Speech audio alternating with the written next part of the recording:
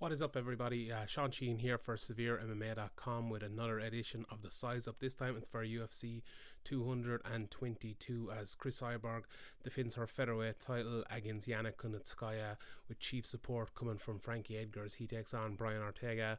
Uh, this event is going down in the T-Mobile Arena in Las Vegas, and I'm basically here just to run through the top two fights in the card, give my picks for the fights after that, and uh, just a, general bit of analysis on the top two fights and I, I, have a better week coming as well at the end of the video, start times and all that. So check that out. Um, if you're watching this on SevereMMA.com, I'll have my picks down below as well. Or if you're watching on YouTube, head on over there SevereMMA.com and you can uh, you can read them there. But let's get straight into it, and I want to get into the main event uh, between Cris Cyborg and Yana Kunitskaya now a lot of people, including myself, didn't know that much about Yana Kunitskaya. We obviously saw her against Tonya Evinger in uh, her last couple of Tonya's last couple of fights in Invicta, and there isn't really a lot we learned from those fights, apart from you know what she really wants to do in fights and what she really wants to do in fights. A lot of the time is she wants to, and we'll see this in the comment uh, in main event as well. She wants to win those big moments you know, in, in, that first fight with Evinger, she got the submission. It was overturned, but that's that's the kind of thing she does. In the second fight, she almost got that submission early as well. She goes for those big moments. Looking back at some of her other older fights, she does the same with her striking. She lands, tries to land those big shots, go for those big head kicks. You know, big knockout blows. So that's definitely the good part of her game, and that's kind of an all-round what kind of a fighter she actually is then you add in her size. Now she's fought at 135, and obviously you know a lot of her fights 135. But I think she, I think she's a genuine enough 145 pounder that you're, you know, compared to some like Leslie Smith and some of other Cyborg's uh, competitors, she's the same height as Cyborg. She's big, she's strong, so that's a plus point you can you can give for Kunitskaya coming into this fight. So you know what I think she'll probably do is probably try to land those big strikes from afar. If it gets close, try to get the clinch and try to work Cyborg there. She's a very good clinch, and uh, she's a very good bottom game as well. But that's going to be obviously very hard. We know Cris Cyborg is like just an absolute monster everywhere really good in the clinch, as I mentioned there with, with Kunitskaya. Her striking has always been absolutely devastating and powerful, but now it's turned technical as well. In her last few fights, especially, she's become a really, really technically good fighter. She always was, but even more so with, with a whole game plan and all that. Working with Jason Parillo has done absolute wonders for her. So there is that. Cyborg everywhere. No real weaknesses in her game. Uh, how's, you know, putting those two together, how's Kunitskaya going to match up? And the only answer is really not very well. How can she win the fight? You know, I mentioned the clinch. Can she win it in the clinch? Maybe. Probably not. Um, she, she, maybe she'll be able to use her power. Is Cyborg more powerful? Yeah, she is. Uh, so that's that's going to be tough. But I think that is her big area. Maybe if she gets taken down, she's her submission game is probably her her best asset of her best way to a win to a win here. Um, she's very sneaky off her back. She's as I mentioned, she's strong. When you do take her down, she moves that. Maybe she doesn't get up all the time. She and her takedown defense to get there before that all isn't isn't that great to be honest. But once she gets down, she's strong at moving, maybe not at getting up all the time. But if you if you get her in a certain position, she's good at getting up because, as I mentioned, she is she is very strong. But I think that's her best best bet. Maybe you know clinch uh, when it goes to ground submission. But uh, her top game is is also very good if she can get on top. But it's unlikely that she gets on top of Cyborg. You know, looking at this fight, I think Cyborg as I mentioned, the added technical ability she's put onto her game. I think it's a respect for fighters she's fighting as well. And I think she will go back and watch Kunitskaya. I know she's only, what was it, three weeks to prepare for this fight. But she'll go back, she'll look at Kunitskaya, look at her game, look at how she's been strong in the clinch. And I think she'll try to strike or try to make it a technical match, try to land her big shots when she can, when she can get inside, and stay away from Kunitskaya as well when she gets inside, not let her clinch up. So I think that's what Cyborg will do. And I think doing that might last two rounds. I think maybe you know Kunitskaya is eh, she's she's just not on the level of Cris Cyborg. Let's be honest. She's a good fighter and everything. Uh, she can have big moments, but I would give her a very very very very slim chance of winning this one. And you know that's my pick, Cris Cyborg to win here first couple of rounds. I think she'll just be too powerful, too technically good, and be able to stop everything Kunitskaya tries to do. So Cris Cyborg definitely in that one. In the co-main event, uh, Frankie Edgar against Brian Ortega in another interesting fight. Obviously, this fight was due to be headlined by Frankie Edgar challenging for Max Holloway's featherweight title, but now Edgar goes back and it's a three-round co-main event against T-City Brian Ortega, who has been on an absolute roll lately, submitting, knocking people out, third round finishes galore, and it's another another fight between a guy. Maybe a little. It's different in Kunitskaya, like, but the big moments you know, Kunitskaya will be looking for the big moments. Ortega as well will be looking for the big moments, and he's an, obviously a lot more of a shot than Kunitskaya has.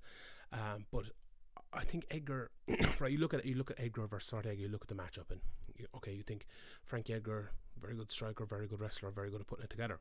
Maybe he won't want to use the wrestling as much in this because we know Brian Ortega is an, a, a tremendous, tremendous jiu-jitsu artist, one of the best in in that division oh, oh, you know, top you know, jiu-jitsu people tell me top 10, top 15 in the UFC maybe, uh, in MMA jiu-jitsu as well, very, very good. He, he can just grab submissions from anywhere. Um, so with that being said, as I mentioned, probably looking for Edgar maybe to stay away from his wrestling a little bit, or if he does get a very, very strong uh, top game, don't take any chances on the ground, but use his striking on the outside, uh, or sorry, coming coming inside because he's obviously a smaller guy than Ortega. Use his striking, come in, get on the inside, land his three, four, five shots that Frankie Edgar loves to do. Get back out, use his footwork. Brilliant there. So that's what Edgar will be trying to do. Ortega, as I mentioned, looking for the big moments. Now, I think I've picked out, kind of thinking about this fight and thinking about the overall picture, which is kind of how I like to do my analysis. Edgar is very good at the in between bits. Very good at his head movement. He lands his shots, defense, gets away, moves around. You see Edgar, he pivots a lot all the time with his with his feet to get out and get in. Brian Ortega is not great at that. Now, I've talked about his striking before, and a lot of people have, and that it's not that good. Uh, watching tape again for this video, it's not as bad as maybe I've said, and maybe other people have said as well. He's very good jab, throws well behind it, uh, good combinations, good kicks, kicks well. You know, obviously, he, when you got into his ground game, very good jiu-jitsu. Uh, maybe not the you know the best wrestling in the world, but he finds ways of getting it there. But as I mentioned, with Edgar, good at the in between bits that's where Ortega I think struggles. So eh, like just a small thing like Frank Edgar landing the shots, pivoting to the left, pivoting to the right, getting away, and not being there to be hit after he hits you. That's not what Ortega is good at. That that's where he struggles a little bit, and that's what something he'll improve. That's something he'll improve on because he is gone from that base, you know, and to putting it all together. Where Frank Edgar's obviously had years and years and years doing it at the top level. So th- that's where I think Edgar will win the fight he'll win it in those in between bits. And oh, if it goes five rounds, you know, or sorry, if it goes the whole three rounds and goes to decision, I'd be very very surprised if Frankie Edgar didn't win it because I will I do think he will win the large majority of this fight. But it is those big moments. You know, this is the difference between any other sport, soccer. You know, if you score five goals and the other team scores has one big moment scores one they lose 5-1 but you know you, Frank Edgar could be losing or could be winning this fight 5-0 and then Edgar gets or uh, Ortega gets that one moment and he wins the fight and that's it. So that that's the difference between MMA and Ortega can do that. We've seen him doing it before. I was watching that Clay Guida fight you know similar type not, obviously not in the level of Frank Edgar but you know kind of wrestle boxer who moves a lot. And it's an interesting fight to watch. And, and Clay Guida absolutely tore Ortega up in that fight and he was winning that fight well until he got hit with a big knee late. You know, you saw his fight against Cub Swanson. You've seen a lot of his other fights where he gets that that um the joke he can get it from anywhere you know. You give him one chance on the ground and he has you. Get him in the clinch he'll jump on it. You know he that is it. He is one of those guys who really really can catch you from anywhere. But against Frankie Edgar that's going to be tough. Frankie Edgar is one of the most, not just the most durable guys, but one of the most intelligent, one of the smartest guys in the game. And everyone that has beaten him has either, you know, outsmarted him or being a little, you know, being a little bit bigger. You know, most of his fights have been very close that he's lost. Look at like the Benson Henderson fight. He took him on strike for strike over five rounds. Uh, Jose Aldo beat him twice, like like Henderson, strike for strike over five rounds that's how you beat Frankie Edgar, usually. And it's no one we've never seen someone beating him with one strike. You know, a lot of people talked about him fighting McGregor. You know, that's probably how McGregor be uh, thinking about beating him as well. Um, and that's how Ortega obviously be thinking about beating him, in my opinion.